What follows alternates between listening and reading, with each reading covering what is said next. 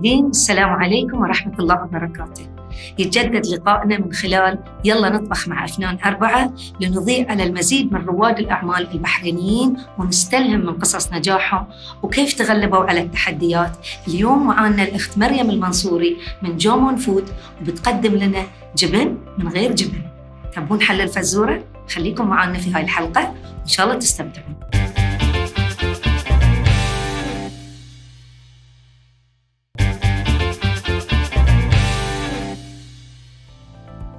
مريم السلام عليكم. عليكم السلام. شلونك أختي؟ الحمد لله بخير. أول شيء نهنيك على مشروعك ونتمنى لك كل التوفيق. وأول شيء سؤال بنسالك ليش جومون؟ جومون هي كلمة يابانية تدل على حقبة زمنية ما قبل التاريخ. وفي خلال هاي الحقبة الزمنية الإنسان آه، بدأ يسوي ثلاثة شغلات. أول شغلة اللي هي الزراعة مثل الأعشاب. أيوه وبدأ في هاي الفترة بعد اللي هو الصيد. أيوه وبدأ في صناعة الفخار. فالجومون آه، المعنى من وراها إن إحنا نجيب كل شيء ما هو طبيعي لكم على الطاولة. الحين أختي مريم لو تعطينا فكرة عن مشروعك، أنت شو تسوين بالضبط؟ المشروع آه، هو عبارة عن صناعة بدائل للأجبان تكون نباتية بحيث إن هي تلبي حاجات الناس اللي ما تقدر سواء لأسباب صحية أو لأسباب اختيارية أن هي تتناول منتجات الألبان فهني يأتي منتجك انت كبديل، شلون سويتي المنتج ذي؟ شو استخدمتي من المواد الطبيعية حتى تعطينا بديل للجبن؟ أنا أساسا قطعت الحليب ومنتجاته في فترة طويلة لأن كان عندي حساسية من الألبان. نعم. آه، فهني اتجهت آه، توجه ثاني قمت آكل الحمص. زين تمللت حمص حمص حمص إيه. حمص.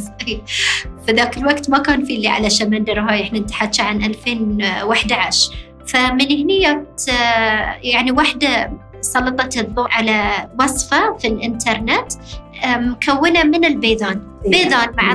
طحينة. إيه. بالضبط اللوز مع طحينة مع طماطم جفاف وكذا شغلة. وسويتها وطلعت وايد لذيذة. إي نعم. من هني قمت أنا أبتكر شلت اللوز حطيت كوزو وشلت الطماط حطيت مكانه فليفلة نعم. لحد ما طلعت بعدد من المنتجات. إي نعم. فمن هني جات الفكرة الحاجة أم الاختراع أنا. صحيح صحيح. آه، انت الله يسلمك مريم ما بديتي في هذا المشروع؟ انت بديتي أول شيء دراستك شنو هي؟ أنا درست مخلصة بكالوريوس في سنة 2001 من جامعة البحرين بكالوريوس في الآداب باللغة الإنجليزية. وبعدين اشتغلتي في هذا المجال ولا في مجال غير؟ لا بعد شغلي كان في مجالات مختلفة. نعم. اشتغلت في قطاع البنوك سواء بنوك تجارية أو بنوك الأوفشور أو البنوك الاستثمارية. نعم. واشتغلت بعدين في القطاع الشبه حكومي مثل هيئة تنظيم الاتصالات. نعم. وآخر محطة كانت لي مع تمكين. نعم. كانت قرابة العشر سنوات. أوكي. وكنتي في أي مكان في تمكين في أي قسم؟ في تمكين نقدر نقول أن نص الفترة كانت آه، في مكتب آه، سعادة آه، رئيس مجلس الإدارة. اي نعم في ذاك الوقت كان دكتور نزار البحارنة وبعدها كان سعادة الشيخ محمد بن عيسى بن محمد. نعم. ومن عقبها في عام 2013 نهاية 2013 رحت حق قسم اللي هو التدريب والتطوير ومن بعدها رحت حق اللي هو دعم الشركات. شلون صارت النقله وشلون فكرتي انك تسوين المشروع؟ يعني انت قلتي لي الحاجة ام الاختراع نعم. واحتجتي إنك تسوين الوصفة علشان احتياجك الشخصي، بالضبط. لكن شلون انتقل الاحتياج الشخصي لصار فرصة؟ إيه. لأن أنت تبتدين مشروع؟ اللي صار انه في 2012 لما بديت إن أنا أسوي هاي الوصفات حق نفسي كانت تستوي بكميات كبيرة. إي. ما أقدر أخلصها. فأول شيء اجيبها المكتب اعطيها حق أهلي حق ربعي لما يزوروني في البيت أو حتى أروح لهم. فقاموا يحبونها شوي. شوي قاموا يسألوني بتسوين. عقب من ال... تعرفين الأول تستحي وشيفه ليش ما تبيعين عن اللي اي نبي نعم. نعم خذ لي الموضوع سنة وزود على أساس إنه أقول إنه أوكي ببيع نعم فبديت أبيع بشكل وايد بسيط من البيت وعن طريق الإنستغرام وعن طريق آه، اللي هو هذا يقول حق ذي وفلان إيه، يخبر. فلان الكلام يعني من الناس من بالضبط إيه. نقل ال- نقل الأخبار يعني إيه. يصير بال- والبحر بلد صغيرة وبسرعة. تنتشر خصوصا إذا كان المنتج ناجح إي نعم إي نعم فلما جات الفرصة حق التقاعد الاختياري في 2017 مهم. آه، في May هني أنا قمت استخرت وسألت وهاي وكان في اللي هو إحنا نسميه مخاطره المدروسة إن إيه. أنا أوكي بتقاعد عندي راتب تقاعدي مجزي كونت هاي الحسابات واستخرت اخذت نفس. توكلتي على الله. توكلت على الله. إي نعم إي نعم، إي نعم. من هني بديت دراسة الجدوى ساعدتني في هاي الشيء بنت عمي. أعرف أطبخ أعرف أسوي شغلات وكذي هلون بس أنا ما أعرف أسوي business صحيح. المشروع أول ما بدأ كان عبارة عن كافيتيريا إي نعم. وكانت الصعوبة في التصنيف لأنه مو بع- لأن المنتج جديد ومو بعارفين نصنفه نعم. فتم تصنيفه على أنه هو المقبلات والسندويشات المحدودة. هذه النشاط اللي كان يندرج موجود كاختيار ليش تندرجين تحت إي نعم, نعم. أقرب شيء حق اللي ممكن أنا أقدمه. أعزائي المشاهدين فاصل ونواصل مع قصة مريم المنصوري ونجاحها في جومون فود خليكم معنا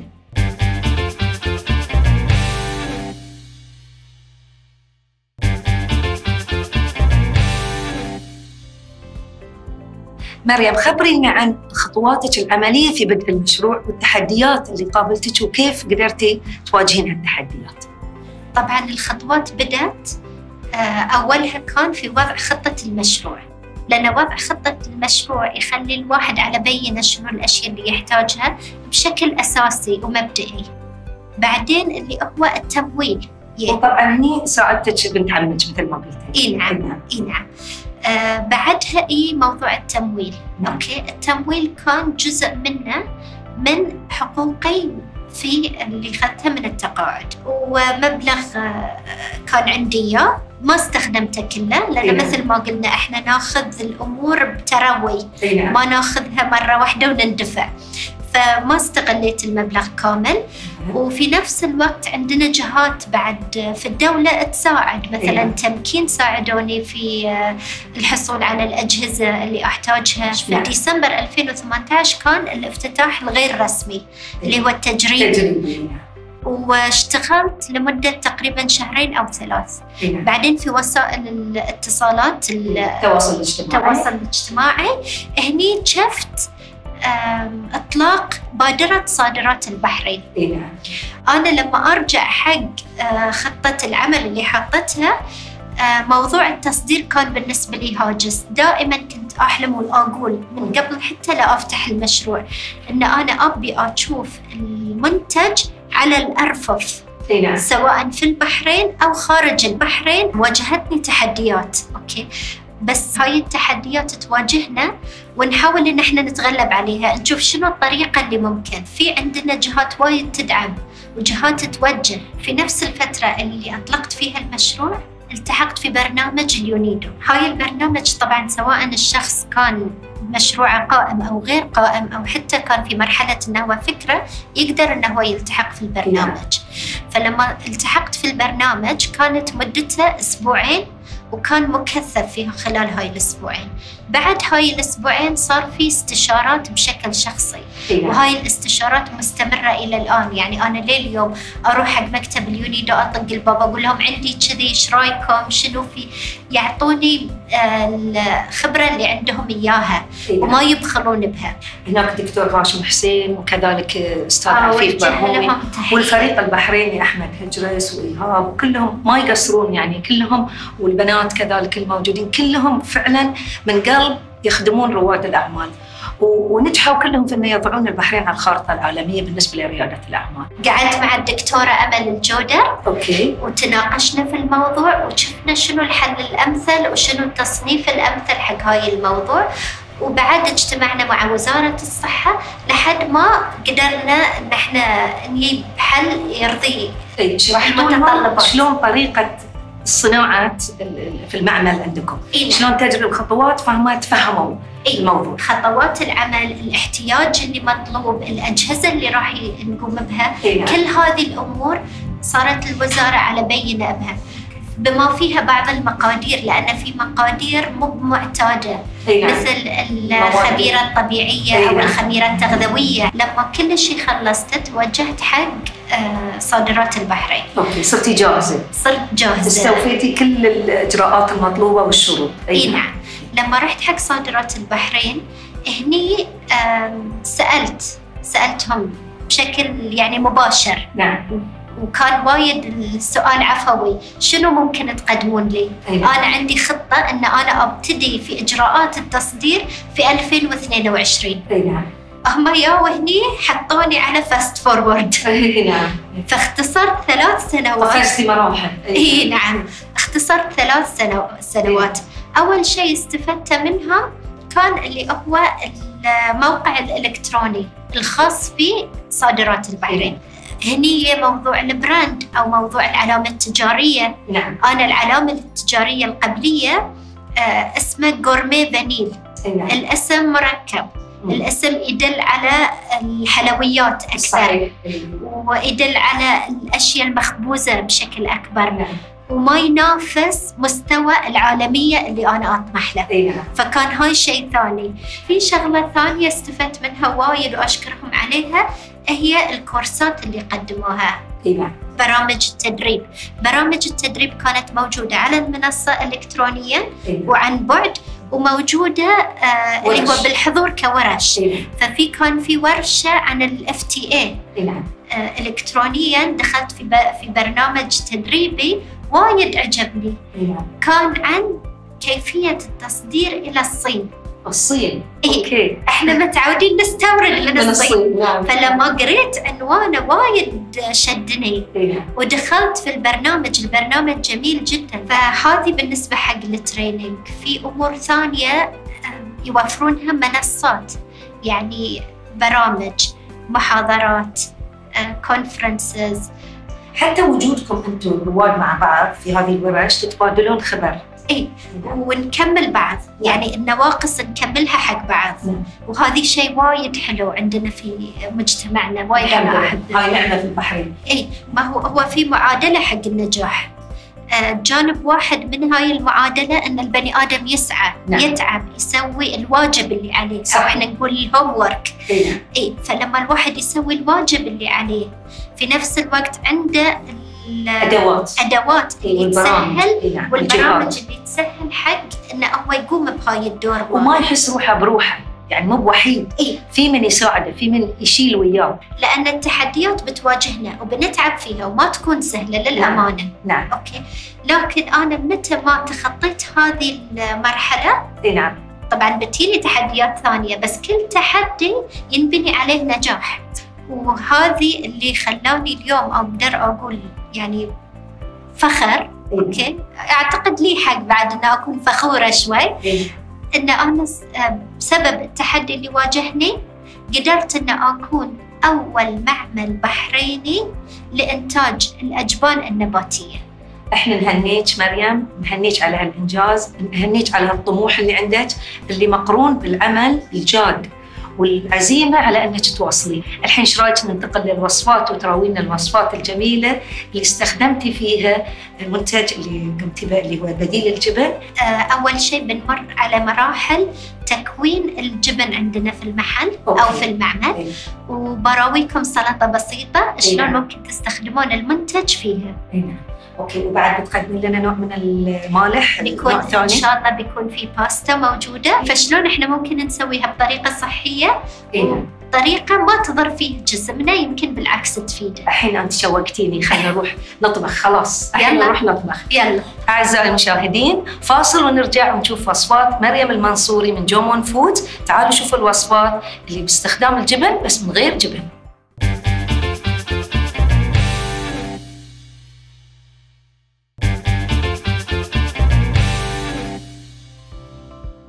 أعزائي المشاهدين الحين إحنا جاهزين حتى نشوف طريقة تحضير شو تسمينه مريم؟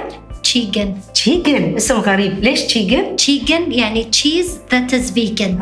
لما. سو... إيه نعم لما. سوينا ال research عالميا في بعض المناطق وبعض الدول ممنوع إن إحنا نذكر كلمة cheese على أي شيء غير مشتقات الألبان صحيح إي نعم فعلشان كذي ينا نبتكر اسم إي نعم فطلعنا باسم تشيجن عادة نبتدي بنوع المكسرات اللي نستخدمه. أوكي. أوكي. ويكون منقوع من يوم قبل في ماي فاتر. إحنا ما نفوح ولا نحط ماي حار. أوكي. دائما الماي فاتر ونخليه لمدة ما تقل عن 12 ساعة. أي وال- والقشر بروحه بيطلع تالي. أي بالضبط بيصير يتقشر كأنه سلقتي نفس إي. الشيء. أي أي نعم. أي بس أنت ما قاعدة تسلقينه. فما تخسرين خواصة. فالحين هاي اللوز. الحين ننزله أي وهذه طبعا اللوز كله صحة وعافية إي. صديق القلب. بالضبط. وفي الألياف وأنا لاحظ إن أنت الحين طريقتك ما تخسرين شيء. بالضبط. نعم. ما نخلي ولا شيء نحاول إن إحنا يعني في طريقة إن أنت تستخرجين الحليب. نعم. وبعدين أنت تستخدمينه. إحنا إي. اعتمدنا استخدام الحبة كاملة. اي والحين بس بنخلطه. أوكي. أوكي. أوكي. الحين وصلتي للدرجة اللي تبينه؟ وصلنا للدرجة المطلوبة. اي وفي هاي المرحلة نبتدي ننزل المكونات الثانية. المكونات الثانية. والمنكهات اللي عندك حسب نوعه. بالضبط وممكن يكون كاجو. ممكن. مو بشرط يكون لوز. ممكن صح؟ يكون كاجو ممكن يكون حب شمسي أوكي. ممكن يكون مكاديميا هاي الفلفل طبعا آه، وايد مفيد. أول شيء سعراته الحرارية جدا قليلة. طعمه طيب وبيعطيك لون بعد. بالضبط. إي نعم. يعطي لون ويعطي نكهة جميلة إي نعم. بعد.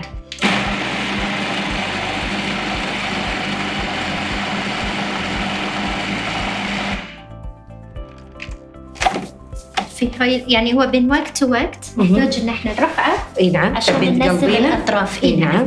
نقلبه حبة الفلفل الواحدة اي آه، فيها 48 كالوري. بس. كلش بس مشبعة لما تاكلينها تحسين أول شيء في قرمشة.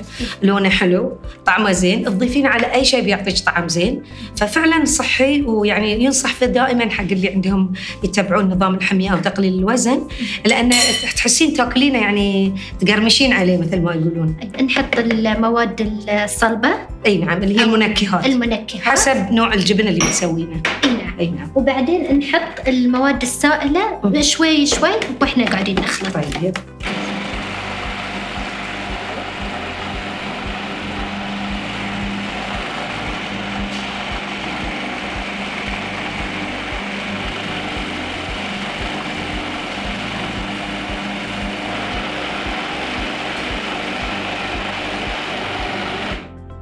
هو بهاي الطريقة يكون. جاهز. أوكي. فبيصير بهالطريقة. إي نعم. الحين نبتدي تحطينه التعليم. إي اي نعم. نعم في الأكياس هذه. دخلي القرش داخل وأنا بناخذ مترولي كفاية؟ يكفي إي نعم. إي نعم. الحين بنضغطها كامل كذي أيوه صح؟ أيوه. وسيدة في الجو. تبي نفتح لك الجار تسوي له انت؟ أوكي. يتبارك. أي تبارك ولا يهمك. بحاول. المرة الأولى إيه. اللي أسوي إيه. أوكي. يمكن. صغير ولا أوكي؟ لا أوكي. تمام.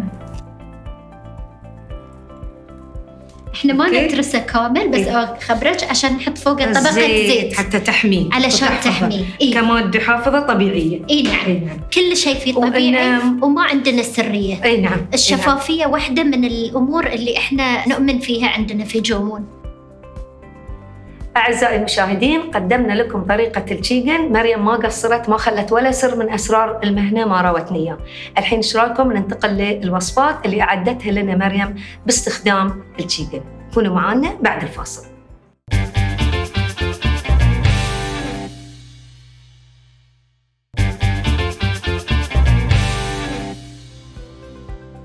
مريم بتقدمي لنا سلطة مع الجبن اللي حضرناه اي بيكون هاي السلطة سلطة وايد سهلة وسريعة ووايد أحب أسويها لأنها ما تأخذ من عندي وقت آه، طويل. اي نعم آه نبتدي بالمقادير. مم. فلفل ملون أي ألوان موجودة سواء كانت أحمر برتقالي. زيتون أسود وأخضر تبونه مع الحب تبونه بدون الحب. أنا أستخدم ال slice. ونحط الجبنة الفيتا النباتية اللي من جومون ممكن نستعاض بها بأي جبن ثاني إذا حابين بعد. فهذه هي المقادير الأساسية بالإضافة طبعا حق الخس الخس بأنواعه. نخلطها مع الملح. الملح ناخذ كمية صغيرة. طبعا الملح اللي نستخدمه في جومون هو ملح بحري. نحط البابريكا. البابريكا سواء أنا أحب المدخنة والفلفل الأسود المجروش. نحطه مع بعض. ونخلط المقادير بشكل كلش عادي ما فيه أي شيء. إحنا بنخلط ال dressing مع هذه الخلطة. اي نعم okay عبارة عن زيت زيتون. okay بكر هاي اللي إحنا نستخدمها طبعا زيت الزيتون مفيد جدا حق الجسم في الزيوت الأحادية الغير مشبعة وهو يحارب الشيخوخة وكذلك السرطان وبعدين عندك إيش بتحطين؟ خل التفاح البكر بعد اللي هو يسمونه مع المذر اللي فيه المادة اللي هي نفسها تخلل التفاح وتسويه خل اي نعم إي ونحط فوقه الزعتر. أنا أحب الزعتر الأخضر في ناس تفضل الزعتر الأحمر. هذه بروحه بحد ذاته يعتبر وجبة لذيذة ممكن تنأكل مع الخبز ممكن إن هي تتقدم مع المقبلات. والحين كل اللي بنسويه إذا ما عليك أمر بس تعطيني نعم. طبق التقديم. فكل اللي بنسويه الحين ولا أسهل ناخذ الخس مثل ما هو وننزله في الصحن. تقديم. هذه الخس بحريني اللي هو الهيدروبونيك المزروع على الماء بدون إيه. تربة. يعني أكثر شيء طازج يكون لأنه جاي رأسا مباشرة من المزارع في البحر. والحين كل اللي بنسويه خلاص نحط الخلطة هذه فوق الخس ويكون جاهز للتقديم. ففعلا وجبة مشبعة وشكلها بعد جذاب. إي نعم إحنا مم. هذه السلطة تنطلب عندنا في جمون بكثرة وأتمنى ان هي تكون عجبت الكل. وهذه هو عندنا الطبق النهائي هذه راح يكون شكله.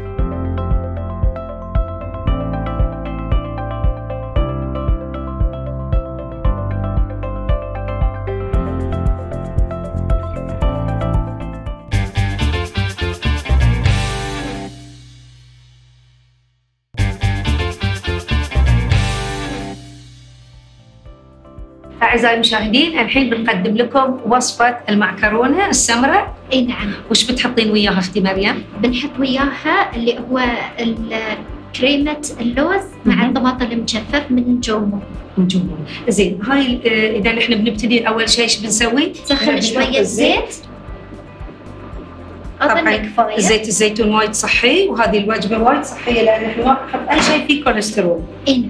بنستخدم زيت الزيتون أي. وحتى المعكرونه اللي استخدمناها السمراء اللي هي مع النخالة فتعطي لنا ألياف أكثر وجنين القمح وكل أجزاء القمح موجودة فيها. بس ننتظر شوي ي- يحمل. إي. وهني عندنا بعد الماء يغلي. راح أحط فيه ملح. نعم. ملحة طبعا الملح اللي نستخدمه ملح بحري هم بحريني. وهني اتصور الحين الزيت عندنا صار ساخن. تبين نضيف المشروم على طول؟ إي المشروم على طول. كله؟ كله. okay. هذه الحين ربع كيلو. في ملوحة طبيعية منه وفيه. فاللي ما يبي يعني عنده مشاكل ويا الأملاح وكذا يكون بديل مناسب إنه يحطه في السلطات وغيره بدون ما يحتاج يحط ملح كثير. فالحين نبي يذبل بين ما الباستا عندك. الباستا تجهز. إنزين الحين خلوا تشيكه دقيقة. إيه. أتصور كنه يستوي. okay؟ شكله تمام؟ إيه نعم. okay. إحنا خلاص. بعد المشروم عندنا الحين بده يذبل تمام. أنا الحين باخذ هذه وبشخله علشان نبتدي نسوي الصوص. إيه؟ خلينا الباستا شوية والحين بنسوي الصلصة. نحتاج نحط ثوم وبنحط خلطة آه، جومون اللي هي اللوز مع الطماطم المجفف. هذه أي نوع من المكسرات؟ هذه البيذان اللوز. اللي هو اللوز. أي نعم. أي نعم. كل شيء يصير على البارد. أي نعم. بخلط معاه شوية مرقة الخضار على أساس إن هي تخفف لي الكريمة نعم. وتحولها إلى صلصة.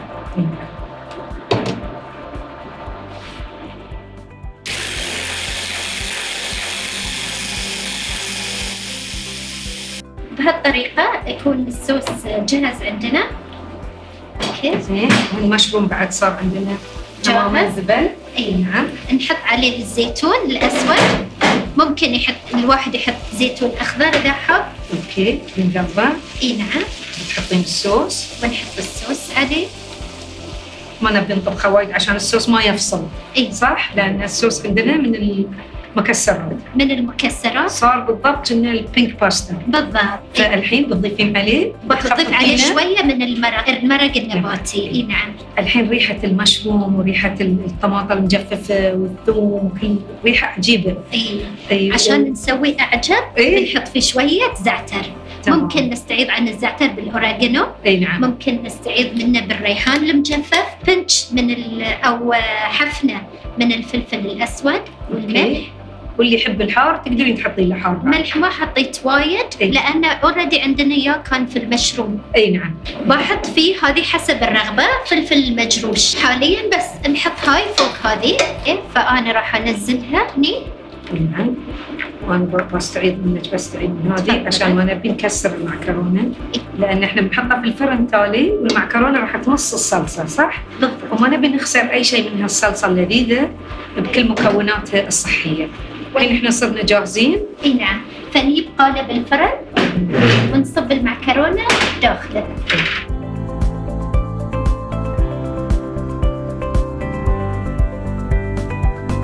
بنحطها في الفرن؟ بنحطه في الفرن مدة 10 دقائق إلى ربع ساعة.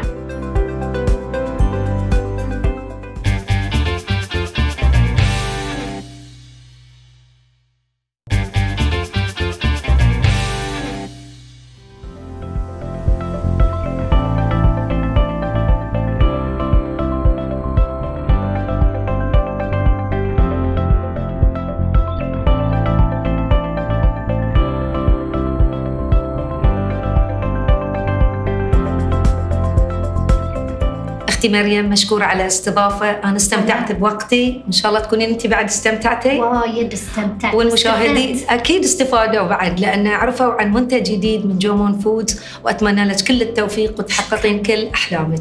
شكرا. أعزائي المشاهدين إن شاء الله نلتقي في حلقة قادمة مع رواد أعمال بحرينيين وقصص نجاحهم. ونشوفكم على خير بإذن الله. ومع السلامة.